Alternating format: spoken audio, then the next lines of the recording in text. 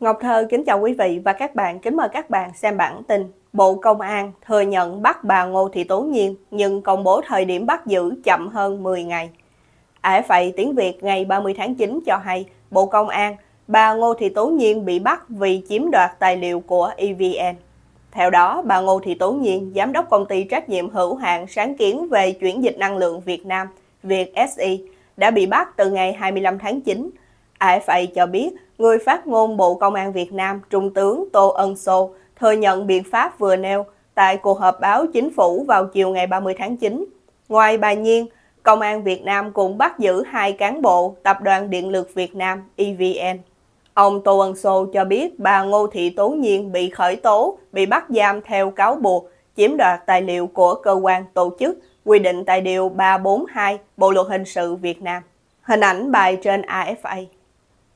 Theo AFA, hai cán bộ EVN bị bắt cùng với bà Nhiên là ông Dương Đức Việt, chuyên viên cao cấp Ban Quản lý Đầu tư thuộc Tổng Công ty Truyền tải Điện Quốc gia của EVN và ông Lê Quốc Anh, trưởng phòng phân tích hệ thống công ty tư vấn điện số 1 của EVN. Những tài liệu mà hai ông Dương Đức Việt và Lê Quốc Anh cung cấp cho việc SI bị Bộ Công an cho là tài liệu nội bộ không được chia sẻ. AFA dẫn lời ông Tô Ân Sô cho rằng ngay sau khi có tin bà Ngô Thị Tố Nhiên bị bắt, nhiều cơ quan truyền thông và một số tổ chức ở nước ngoài loan tải thông tin, đánh giá đây là biện pháp mà Việt Nam sử dụng để bắt giữ các nhà hoạt động vì môi trường. Ông Sô cho rằng đó là luận điệu xuyên tạc mà Hà Nội bác bỏ và xem là hành vi can thiệp vào hoạt động của Việt Nam. Trước đó, ngày 20 tháng 9, AFA dẫn nguồn từ tổ chức Project ATA cho biết bà Ngô Thị Tố Nhiên bị bắt giữ hôm 15 tháng 9 như vậy có thể thấy, bà Nhiên có thể là cả hai người cùng vụ với bà đã bị chính quyền cưỡng bức mất tích trong 10 ngày, từ ngày 15 đến ngày 25 tháng 9. Hiện chưa rõ bà có được luật sư bảo vệ trong thời gian này hay không. Theo Project ATA, bà Nhiên có hơn 20 năm kinh nghiệm hoạt động trong lĩnh vực chuyên môn về năng lượng và kinh tế môi trường, mô hình năng lượng, chính sách năng lượng và đánh giá các công nghệ năng lượng carbon thấp. Ông Ben Swanton, Tổng Giám đốc Project ATA nhận định, việc bắt giữ bà Nhiên là dấu hiệu quan trọng cho thấy việc nghiên cứu chính sách năng lượng tại Việt Nam hiện nay là không được phép. AFA cho hay, hình ảnh chuyên gia năng lượng Ngô Thị Tố Nhiên. Bà Ngô Thị Tố Nhiên là nhà hoạt động môi trường thứ sáu tại Việt Nam bị bắt giữ trong vòng hơn 2 năm qua. Năm người bị bắt trước đó gồm bà Ngụy Thị Khanh, ông Đặng Đình Bách, ông Bạch Hùng Dương, ông Mai Phan Lợi và bà Hoàng Thị Minh Hồng. Cả năm người đều bị cáo buộc tội trốn thuế. Ông Mai Phan Lợi và bà Ngụy Thị Khanh đã được thả trước thời hạn. Các tổ chức quốc tế đã lên án các vụ bắt giữ và kết án tù những nhà hoạt động này là có động cơ chính trị. AFA cho biết thêm, việc SI là tổ chức nghiên cứu độc lập được thành lập vào cuối năm 2018 với các hoạt động nghiên cứu liên quan đến việc chuyển dịch hệ thống năng lượng quốc gia hướng đến mục tiêu phát triển bền vững và có độ tin cậy cao. Khi bị bắt giữ, bà Nhiên đang làm việc với tổ chức chương trình phát triển Liên Hiệp Quốc để giúp Việt Nam thực hiện cam kết thỏa thuận về đối tác chuyển đổi năng lượng JETB mà Việt Nam vừa đạt được hồi cuối năm ngoái với các nhóm đối tác quốc tế IBG gồm Canada, Pháp, Đức, Italy, Nhật Bản, Vương quốc Anh, Hoa Kỳ, Liên minh châu Âu EU, Đan Mạch và Na Uy. Theo thỏa thuận này, các đối tác sẽ giúp Việt Nam hơn 15 tỷ đô la để thực hiện việc chuyển đổi năng lượng bền vững từ sử dụng than sang các nguyên liệu thân thiện với môi trường. Quý vị và các bạn vừa theo dõi chương trình cập nhật tin tức của Ngọc Thơ thời báo chấm D với bản tin Bộ Công an thừa nhận bắt bà Ngô Thị Tố Nhiên nhưng công bố thời điểm bắt giữ chậm hơn 10 ngày. Dù thua lỗ, VinFast vẫn lên kế hoạch mở thêm nhà máy ở Ấn Độ và Indonesia. Ngày 30 tháng 9, VOA tiếng Việt cho biết VinFast đang dự định mở nhà máy ở Ấn Độ. Theo đó, hãng xe điện Việt Nam VinFast đang cân nhắc mở nhà máy sản xuất ở Ấn Độ. Một tờ báo quốc tế dẫn nguồn từ những người nắm rõ vấn đề cho biết, nhà máy này có thể ở bang Tamil Nadu hay bang Gujarat. Các nguồn tin này cho biết các cuộc đàm phán đang trong giai đoạn sơ bộ, nhưng VinFast rất háo hức xây dựng cơ sở ở Ấn Độ và khoản đầu tư dự kiến sẽ rất lớn. Tuy nhiên, Nguồn tin này nói vẫn chưa rõ liệu VinFast tính sản xuất ở Ấn Độ để xuất khẩu hay chỉ để phục vụ thị trường nội địa của Ấn Độ. VOA cho biết tháng trước VinFast đã trở thành hãng xe hơi có vốn hóa thị trường lớn thứ ba trên thế giới, chỉ sau Tesla và Toyota.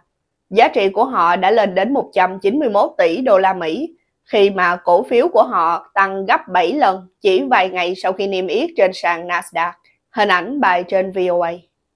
Tuy nhiên, cổ phiếu VinFast sau đó đã lao dốc và giá trị vốn hóa thị trường hiện tại chỉ còn 25,7 tỷ đô la. Kể từ khi thành lập, hoạt động kinh doanh của VinFast luôn thua lỗ khủng, dù tham vọng rất lớn.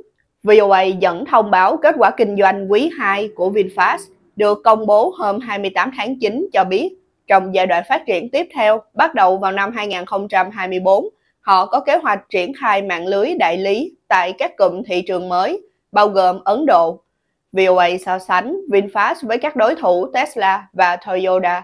Theo đó, VinFast dự kiến đạt doanh số từ 40.000 đến 50.000 xe trong năm nay. Nhưng thực tế, từ đầu năm đến nay chỉ mới bán được hơn 11.000 chiếc. Trong khi đó, Tesla dự kiến bán 1,8 triệu xe và Toyota dự kiến bán 1,5 triệu xe mỗi năm từ nay cho đến 2026. Theo VOA, hãng tin quốc tế dẫn lời các nhà phân tích cho biết mặc dù VinFast không có giá trị thương hiệu như Tesla, nhưng xe điện của họ được coi là lựa chọn thay thế giá rẻ cho Tesla và dự kiến sẽ có danh tiếng tích cực tại thị trường Ấn Độ vì giá cả phải chăng. Ông Ashwin Ambekar, nhà phân tích ô tô tại Canalys, cho biết Ấn Độ là thị trường trọng điểm cho tham vọng toàn cầu của VinFast. Tuy nhiên, VinFast nhiều khả năng sẽ vấp phải sự cạnh tranh gay gắt từ đối thủ Trung Quốc BYD. Ở thị trường Ấn Độ, VinFast có thể nổi lên như một đối thủ đáng gờm, nhưng có thể sẽ phải vấp phải sự cạnh tranh khốc liệt từ BYD. Ông Somen Mandan, nhà phân tích cấp cao tại Counterpoint Research nói, BYD đã vượt qua cả VinFast và Tesla để giành vị trí dẫn đầu thị trường xe điện tại Đông Nam Á. Thị trường Đông Nam Á vốn nhạy cảm về giá, tương đồng với sự hoạt động của thị trường Ấn Độ. Hình ảnh, truyền thông cho hay VinFast dự định xây nhà máy thứ ba tại Indonesia. Tuy nhiên, VinFast có thể có cơ hội tốt trong phân khúc cao cấp. Ông nói thêm, hồi năm 2022, những chiếc xe có giá trên 2 triệu ruby chiếm gần 5% tổng doanh số bán xe và dự đoán sẽ tăng gấp 3 lần vào năm 2030. Ông Mandan cho biết, tốc độ tăng trưởng này mang đến cho VinFast cơ hội giới thiệu các tính năng cao cấp với mức giá cạnh tranh hơn Tesla và các thương hiệu xe xa xỉ khác của châu Âu như Mercedes-Benz, BMW và Audi. Trong khi đó, vào trung tuần tháng 9, truyền thông nhà nước cho hay VinFast có kế hoạch xây nhà máy thứ ba tại Indonesia. Thông tin này được dẫn từ hồ sơ của VinFast gửi cho Sở Giao dịch Chứng khoán Mỹ. Theo đó, nhà máy dự định xây ở Indonesia sẽ được đầu tư khoảng 1,2 tỷ đô la, dự kiến sẽ đi vào vận hành từ năm 2026 với công suất từ 30.000 đến 50.000 xe mỗi năm. Indonesia được VinFast lựa chọn vì giàu nickel, một nguyên liệu quan trọng để sản xuất pin rất cần thiết trong ngành công nghiệp ô tô điện. Indonesia cũng là nơi sở hữu ngành sản xuất pin lớn nhất Đông Nam Á. Quý vị và các bạn vừa theo dõi chương trình cập nhật tin tức của Ngọc Thơ thời báo chấm D với bản tin Dù thua lỗ, VinFast vẫn lên kế hoạch mở thêm nhà máy ở Ấn Độ và Indonesia. Quý vị và các bạn hãy chia sẻ video này để nhiều người cùng biết cũng như bấm nút đăng ký kênh YouTube và Facebook của Thời báo chấm D để được cập nhật những bản tin mới nhất, nhanh nhất và trung thực nhất. Ngọc Thơ Thời báo chấm D